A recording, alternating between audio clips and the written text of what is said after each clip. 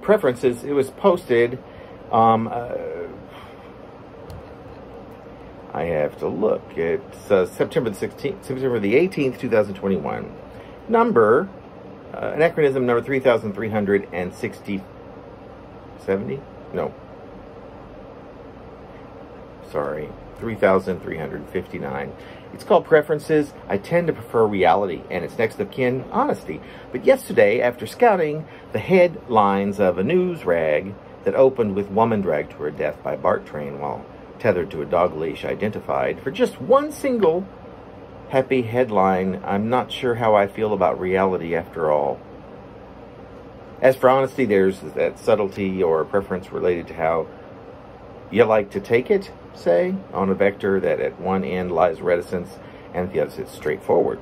Or maybe more accurately, the two poles would be tight-lipped and balls out. Um, let's be really honest for a second and offer how we prefer our truth. Sure. Take in fell swoops when it comes to gossip. Fun stuff. How our leaders are running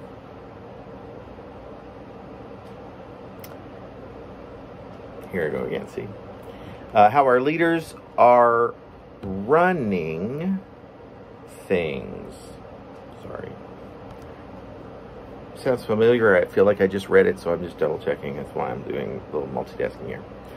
But even this one's a bit iffy for me. And maybe even a barrage in a and maybe even in a barrage of horridly morbid news headlines.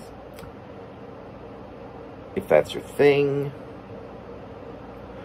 or of yours truly, let's say, or verifiable stuff that triggers you or me, or bombshells that come direct from our lover, our partner. Bombshells is not a good word to be using today, but maybe it is.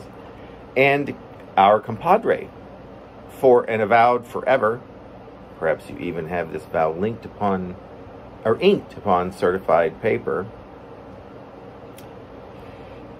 such as the revelation of a strong preference on our dearest's part that you were actually something else, a something else which it would be literally impossible for you to even be, or a blurted out confession of a very long affair that's perhaps still transpiring, and that you're now being left for in order that it might be pursued to its fullest uninhib- uninhibitedly.